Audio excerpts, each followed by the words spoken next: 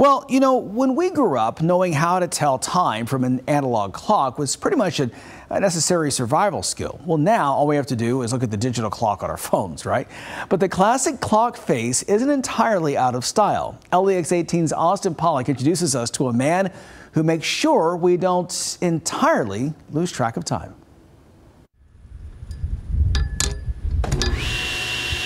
Before, everything I did was in a one-car garage a timeless craft, one tick at a time. I'm always looking at my watch, you know, I guess I got a bad thing about that. Keith Chambers prefers telling time in a more classic way. I guess time well kept, you know. No smartwatch or digital clock, just making sure the analog clock doesn't become a lost art. It was a hobby because I made stuff for my daughter, you know. Then I got that big idea. I said I was going to make wooden gear clocks and I was going to sell them.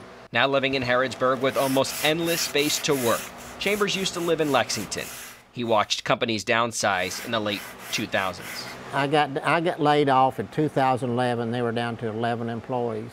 At the time, family grew older. He took care of them, spent more hours, minutes, and seconds in his shop, nearly around the clock, preparing for art shows near and far. Shaker Village, I've done it for like two years. Uh, a big show around this area is Woodland Art Fair. I like doing outdoor shows. Oh, the weather's been kind of hard to deal with lately, you know. Sometimes we just want to pause time right now, appreciate treasures Keith's father used in World War II, go back to less expensive times, a pandemic-less world, more peace. Chambers says the show, however, must go on.